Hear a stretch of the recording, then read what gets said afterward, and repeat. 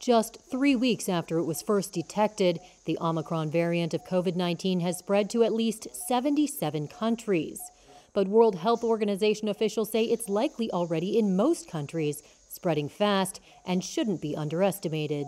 Omicron is spreading at a rate we have not seen with any previous variant. Surely, we have learned by now that we underestimate this virus at our peril. While there is much uncertainty surrounding the newest variant, health experts believe it will soon become the dominant strain of the virus. Even if Omicron does cause less severe disease, the sheer number of cases could once again overwhelm unprepared health systems. I need to be very clear. Vaccines alone will not get any country out of this crisis. The U.S. CDC on Tuesday said the fast spreading variant was responsible for 13% of COVID 19 cases in New Jersey, New York, Puerto Rico, and Virgin Islands at the end of last week. And the variant is suspected in a wave of COVID cases at Cornell University in upstate New York that led university officials to close much of the campus Tuesday.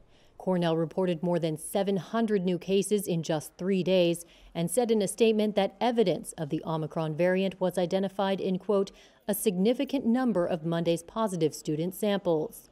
The university reports 97% of its campus population is vaccinated.